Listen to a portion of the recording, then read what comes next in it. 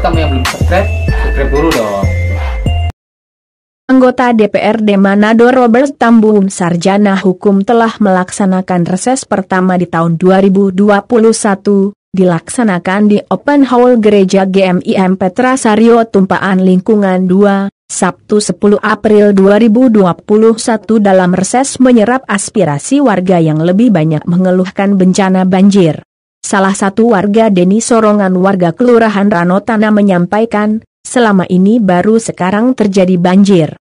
Denny meminta agar ada tindakan dari pemerintah dalam pencegahan banjir, kalau boleh dilakukan pengerukan di kali tanker yang ada di Kelurahan Ranotana.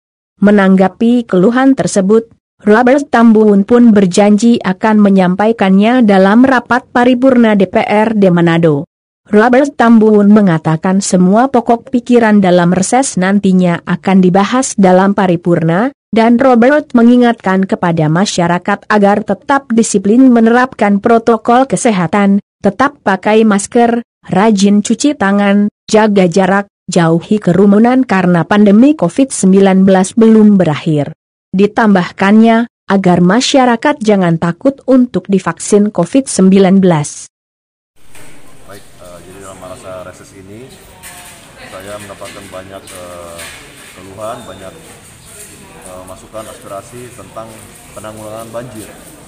Jadi ada sekitar tiga, tiga kelurahan dari dari uh, tiga peserta reses yang memberikan masukan, memberikan usulan dimintakan untuk uh, penanggulangan banjir itu contohnya pengerukan kali itu yang di Kelurahan Rawatana itu ada uh, pengerukan kali tanker dan juga di Kelurahan Sarya Tumpahan ini mereka minta ada perbaikan drainase karena kalau cuma hujan aja agak lebat pasti air sudah muntah ke jalan akhirnya masuk ke rumah-rumah yang ada di lingkungan dua kelurahan Sarya Tumpahan ini. Dan juga ada satu lagi tadi e, masalah banjir yaitu di e, kelurahan Binangun 2 di mana mereka mintakan agar dibuatkan tanggul karena barusan banjir kemarin itu kasihan sampai katanya air itu sampai keluar dari jendela-jendela rumah yang ada.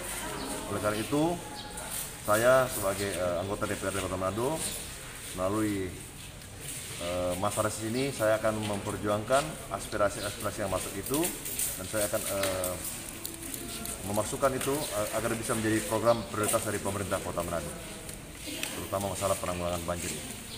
Chandra Mata Sulut Headline News melaporkan dari Sulawesi Utara.